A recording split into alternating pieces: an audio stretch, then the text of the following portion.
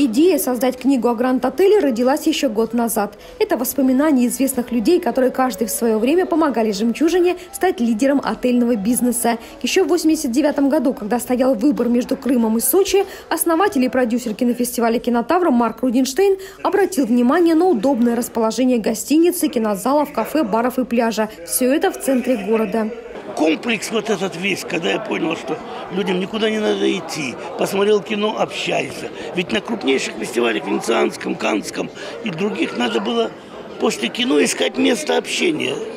Все растянуто вдоль берега, и все живут в разных гостиницах. Корабль, стоящий на берегу моря, так гости называют жемчужину, которая по традиции привлекает гостей проведением различных мероприятий, будь то КВН или, как сейчас, фестиваль «Бархатный сезон в жемчужине». За всем этим большой труд коллектива отеля, а это 700 человек. Я работаю в «Жемчужине» уже 38 лет. Это, конечно, не 45 еще, но я застала как раз самое такое становление гостиницы. И, конечно, очень много событий были пережиты совместно с отелем.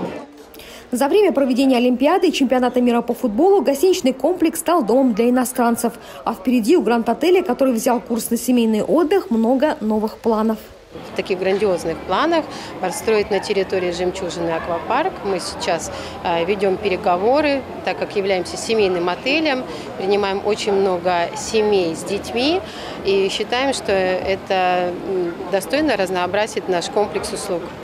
Большая история черноморской жемчужины в небольшой книге, где оставили свои воспоминания почетный гражданин города Сочи Виталий Игнатенко, народный артист Лев Лещенко, президент Международного союза КВН Александр Масляков и другие.